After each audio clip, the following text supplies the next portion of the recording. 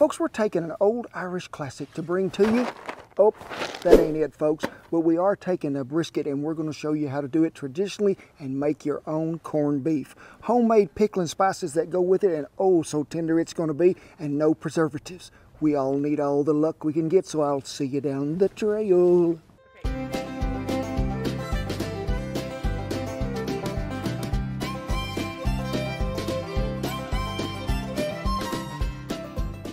Hey, thank y'all for stopping by the barn today for another episode of Cowboy Cooking. Mm, what do we do here? Grilling, Dutch oven cooking, how to take care of all your cast iron and solve all your problems, and even throw in a happy dance now and then. And today, folks, we're going traditional what? An old Irish recipe, corned beef and cabbage. But before we get into this, we better talk about that cookbook that's coming out March 17th. Woo wee! Get you a copy. Check our website out. We'll be making us a book tour across the United States, and we want to see you one and all and write our little name in it for you.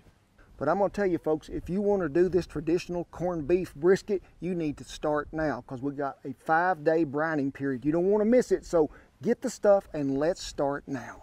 So I think we ought to do a little research here and talk about corned beef. Now, as far as I've always known, it's always been a brisket. Now, a brisket you say is what? Comes off of beef, it does. And my little suspect here that I usually use as a model to show you where beef come from is too tired. So we're gonna show it on me. Right here, down from the neck on that beef, coming right down in the front of that chest is two sides. That is the brisket. One here, one there. But folks, today I want you to know that we're using the flat, the top cap off that brisket, which is the leanest part, and we're going to brine it. Now, brining is a solution that is going to make meat tender, but also give it flavor. Because a traditional brine that you might do on turkeys or something like at Thanksgiving, a lot of times that might be just like some salt, some rosemary, garlic, something like this. But folks, we have made our own pickling spice to go in that brine, so we're going to make it tender but also we're going to make it more flavorful. And guess what? We're going to put some beer in there. Yep, y'all heard the cowboys say it. You did. Now, this has no preservatives in it, the method that we're using today. A lot of folks are going to tell you, get that pink salt, that curing salt, mix that with it. It's going to give you that brighter red color. Folks, this is the only way I know. We used to use the pickling and canning salt for our vegetables, for our meat, everything that we used it on. So the history of corned beef, now as I researched it, corned beef was really not eat a lot in Ireland. Beef was high, pork was cheaper, they was eating a lot of pork.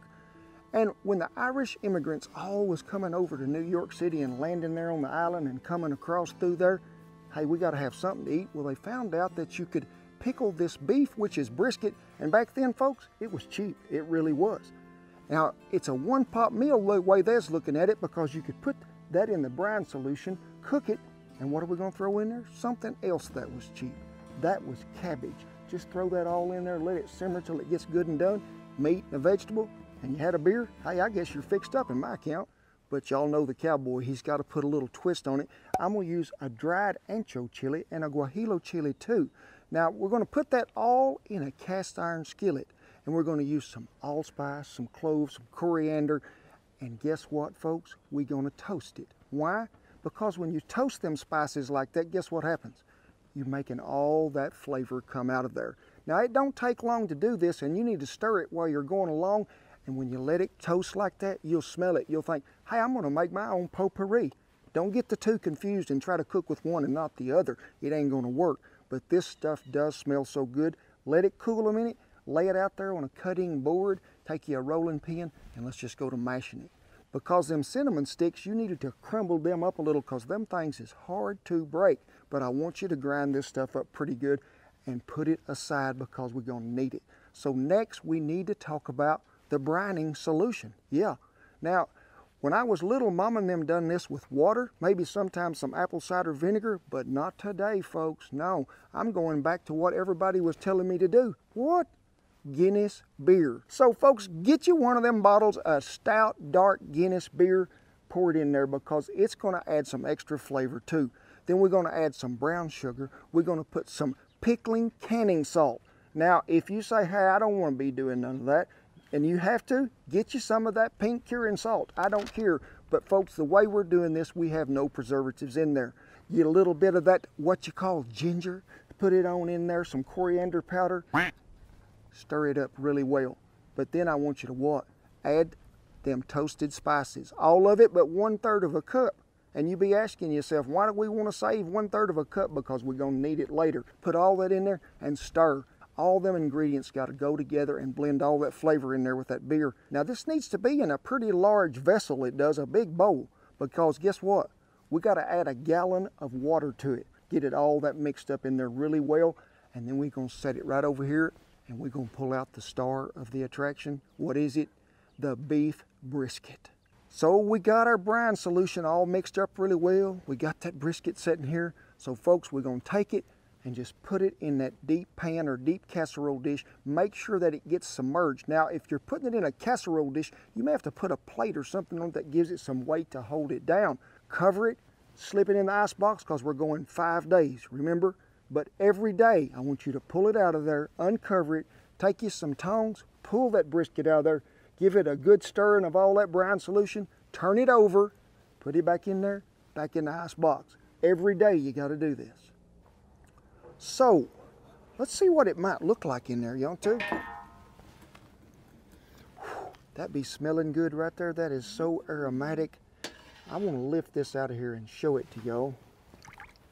Because, folks, that smells good. Now, these quality control inspectors, they be liking this, but every day, remember, you got to stir that brine solution and you got to flip that meat over. But guess what? Before we can actually start cooking this, I got to take it in the house and give it a good rinsing with cold water. Not scrubbing, just a good rinsing. Now, the reason we rinse this, because folks, we have had a lot of salt in that water, and I want to make sure none of that is leached right there on the top. Now I want you to get you a big old stock pot that's going to hold that five and a half to six pound brisket and get it on a burner over medium heat. We're going to add us some salt, and remember, that third of a cup of that good smelling spices that we toasted, we're to put it in there. But I want that to come to a simmer before we add the brisket so all this can, flavors can be really going well. Let's lay that big old honking piece of meat in there. We're to cover it with a lid, let it cook over medium heat for about two hours. Well, we've been on, let me see, two hours we have according to the sun in my Waterbury. And folks, it's some good smelling stuff in there it is. I mean, that thing is doing its rightness. Now, if you're cooking this in the house, I would tell you, preheat that oven to about 375 degrees and put that rack down there pretty close to the bottom because we got to get a big pot in there, okay? So we got a 14 inch Dutch oven here. Got it all ready to go. Now, as you cook meat, as you boil meat, I want y'all to notice that, oh, that's hot. There is a little difference in size now. It'll always tend to shrink up a little. So we got her setting in there. Unsalted beef broth is what we're using because remember, we had quite a bit of salt in this little brine solution to start out with. So add you a full box of that. So beef broth is in. Get you some of them red taters. I, like them about that size. I don't even cut them. Now if you can get the big ones and you want to cut them in half, that's fine. And I got me one head of cabbage coarsely chopped up. Now I just ask you to incorporate them all around that thing. Because folks, we is fixing to blend us a whole bunch of really good flavors together. And as my mama said one time when we was making a whole bunch, that's a pot full right there. Now, we boiled this beef in here, and I don't want you to discard that just yet because instead of adding some broth back to this, if we run a little low, we'll just sift some of that out of there and put it in there. But make sure you strain it. We'll just use the broth that comes off of it if we need it. So I'll meet y'all at the fire. Well, you see me take that horseshoe contraption known as a trivet and take them short bolts out of there and put the long ones in there. You ain't, you ain't got one. Shannon have you a link pop right up there, her and Andy, where you can get one because folks, these trivets do come in handy. We need to start out pretty heavy on the bottom. These are hardwood lump coals, sort of light on the top. Now I'm not getting much wind up here under the barn, but I will rotate a few times just to even out my heat source as we're going along. But you have to keep your fire going so you can add more coals to this. You can't just make them automatically. So keep you a source of heat supply going and just remember to keep a watchful eye.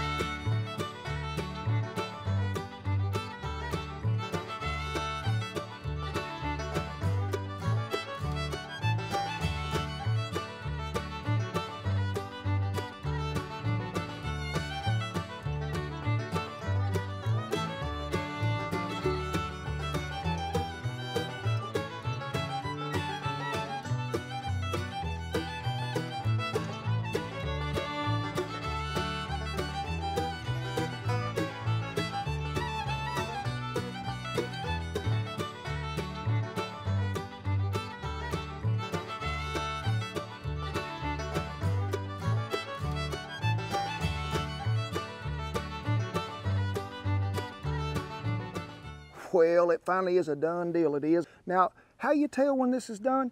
Always check them taters first because them little rascals, you don't want them to fall apart. You want them to keep your shape. That's why you must always leave the skin on them too. But poke that fork down in there, give it a turn. Hey, if it's good enough that you can pull some of that meat up there, it'll slice just right and it'll be ready. And I hear some of you out there already saying, it ain't pink. It ain't that reddish pink color. Well, remember, I told you no preservatives here. But hey, this is a glorious day and we're going to get to see what's happening here. Now, I've never been a fan of corned beef. Let me give it a try here.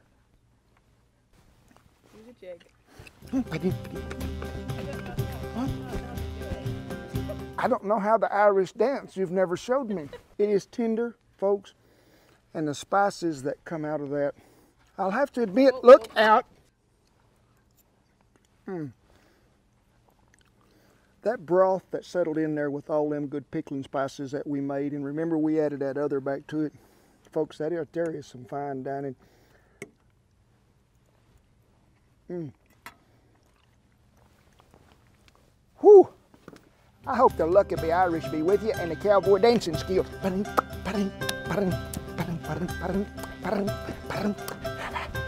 Whew. You know, Ought not even be giving you a bite. This is the first time you've showed up right at eating time. Beeg's been out here working the whole time. There you go, baby. Whoop. Oh, nice. Are you part Irish? Yeah, I think he's got some Irish in him.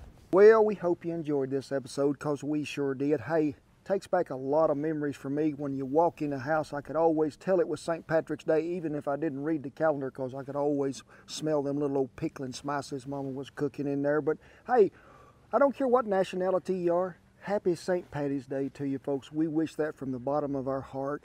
And if you need anything to know about this, it'll always be down there in the little printable recipe below. And as always, I tip my hat to all our servicemen and women and the veterans who have kept that old flag flying safe wherever we be.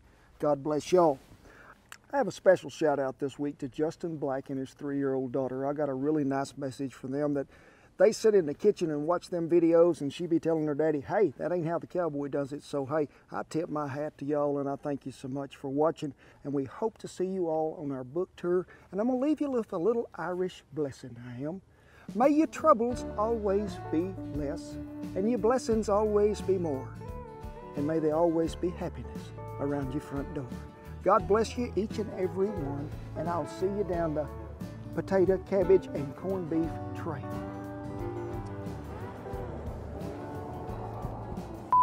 On video and get a bite. it's a drive up window. You sure you don't want a sample? Ooh. Yeah. No, no, no. Woo. And we got the armor all too. Uh-huh. Just in case. I was cleaning the car. Hey, that'll work, Shan.